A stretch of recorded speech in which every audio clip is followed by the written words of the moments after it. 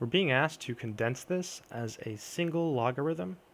So solution. This one's a little bit trickier. So for these two logarithms here, we'll use the product rule. So this is the natural log of x times x squared plus 4. So that takes care of this one and this one. Here we have two minus signs. That means two quotient rules. So one thing that you can do to avoid that is factor out a negative 1.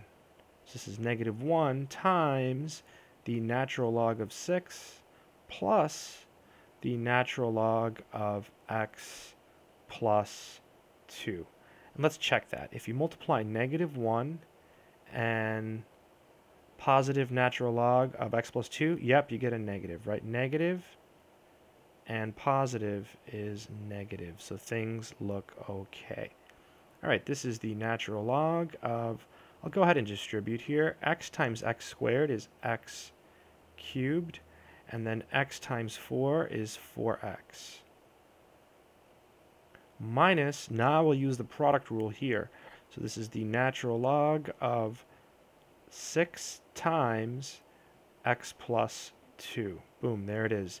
So this is the natural log of, using the quotient rule, x cubed plus 4x divided by the natural log of this stuff, of this, of this stuff, not the natural log, sorry. Here we can distribute, so we get 6, 6x, and then 6 times 2 is 12. And that is the final answer. This was a harder problem. Um, I hope this helps someone out there.